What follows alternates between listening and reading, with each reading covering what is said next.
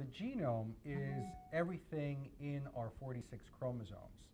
whereas the exome is only the portion of the nucleic acid uh, material in the genome or in the chromosomes that actually code